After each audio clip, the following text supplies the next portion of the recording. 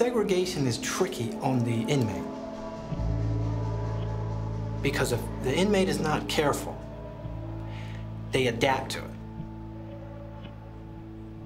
And they start becoming antisocial and become crazy. They can lose their mind. Ask yourself, can you live in a bathroom for 10 years?